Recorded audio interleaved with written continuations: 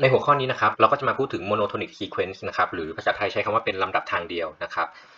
นิยามนะครับก่อนที่เราจะไปพูดถึงลำดับทางเดียว เราก็มานิยามคำว่าลำดับที่กำลังเพิ่มนะครับ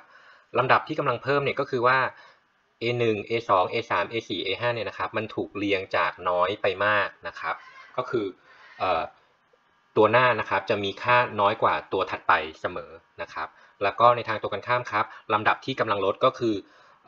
A1 A2 A3 A4 A5 เนี่ยนะครับค่าของลำดับเนี่ยนะครับมันค่อยๆลดลงนะครับก็คือตัวหน้าเนี่ยจะมีค่ามากกว่าตัวข้างหลังนั่นเองนะฮะ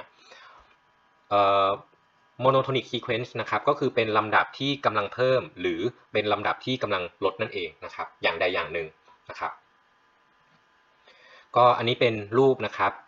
เส้นสี ฟ้านะครับก็คือมันกำลังเพิ่มนะฮะเพราะฉะนั้นจะเห็นได้ว่ามันเพิ่มขึ้นเสมอเลยนะครับ แล้วก็เส้นสีแดงเนี่ยนะครับ มันก็กำลังลดลงนะครับ ทีนี้เราก็มาดูตัวอย่างนะครับเขาบอกว่าให้แสดงว่าลำดับ2บวก n นะครับ เป็นลำดับที่กำลังเพิ่มนะครับ ก็เดี๋ยวเรามาดูตัวอย่างอันแรกนะครับก็เราต้องแสดงให้ได้ว่า a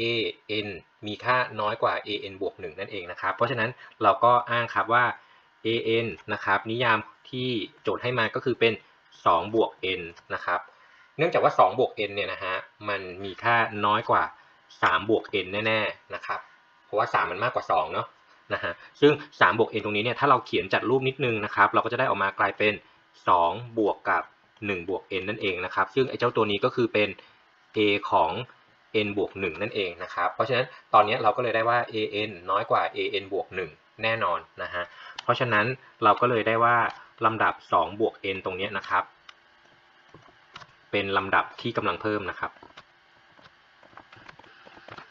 ถัดมานะครับเขาบอกว่าให้แสดงว่าลำดับ n ส่วนด้วย n กำลัง2บวก1เนี่ยนะครับ เป็นลำดับที่กำลังลดนะฮะเนื่องจากว่าอันนี้มันอยู่ในรูปฟอร์มที่ค่อนข้างซับซ้อนนิดนึงนะฮะเพราะฉะนั้นสำหรับอันนี้ผมก็เลยพิจารณาผ่านฟังก์ชันแล้วกันนะครับ ก็คือให้ฟังก์ชัน f(x) นะครับ เท่ากับ x ส่วนด้วย x กำลัง2บวก1นะครับ แล้วเราก็จะมาแสดงว่าไอ้เจ้าฟังก์ชันตรงนี้เป็นเป็นฟังก์ชันลดนะครับเพราะฉะนั้นถ้าเกิดว่าเราต้องการแสดงว่ามันเป็นฟังก์ชันลด เราก็ทำการดิฟหนึ่งทีนะครับ ก็จะได้เป็นล่างนะครับดิฟบนได้1นะครับแล้วก็ลบด้วยบนดิฟล่างก็คือได้ออกมาเป็น 2x นะครับส่วนด้วยล่างยกกำลัง2นะฮะก็ทำการจัดรูปนิดนึงนะครับ ก็จะได้ออกมากลายเป็น x กำลัง2บวก1ลบกับ 2x กำลัง2นะครับส่วนด้วย x กำลัง2บวก1ทั้งหมดยกกำลัง2นะฮะก็จัดรูปต่ออีกนิดหน่อยนะฮะก็จะได้ออกมากลายเป็น 1 ลบ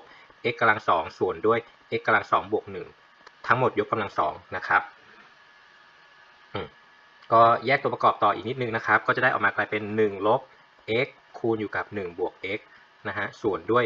x กำลัง2บวก1ทั้งหมดยกกำลัง2นะครับ ถัดมานะครับ เราอยากได้ว่าไอ้เจ้าฟังก์ชัน f ตรงนี้เป็นฟังก์ชันลดเนาะเพราะฉะนั้น f prime ติดลบเมื่อไหร่นะฮะซึ่งเราก็แก้อัสมการออกมานะครับ บอกว่าเนื่องจากว่า f prime x ตรงนี้นะครับมันน้อยกว่า 0 เมื่อ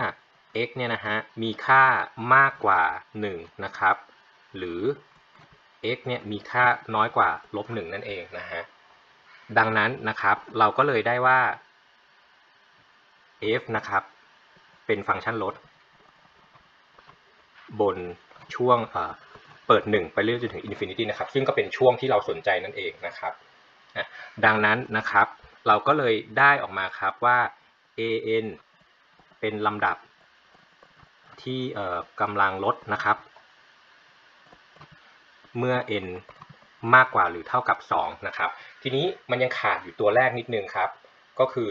ที่ a1 เป็นยังไงนะฮะ เราก็มาเช็คเลยครับว่า a1 นะครับ a1 เนี่ยมันจะมีค่าเท่ากับ1ส่วนด้วย1กำลัง2บวก1ก็คือ 2 นั่นเองนะครับ a1 เป็นเศษ1ส่วน2 a2 ก็จะมีค่าเป็น 2 ส่วนด้วย5นะครับ เพราะฉะนั้นเราจะเห็นได้ว่า a1 กับ a2 ค่าของลำดับเนี่ยมันก็ยังคงลดลงนั่นเองนะฮะรวมความทั้งหมดแล้วเนี่ยนะครับ มันลดลงเมื่อ n มากกว่าหรือเท่ากับ 2 แล้วก็พอเราเช็คระหว่าง a1 กับ a2 มันก็ยังคงลดลงอยู่อีกนะฮะดังนั้นเราก็เลยได้ว่า an เนี่ยนะครับเป็นลำดับ ที่กำลังลดนะครับ เท่านี้นะครับ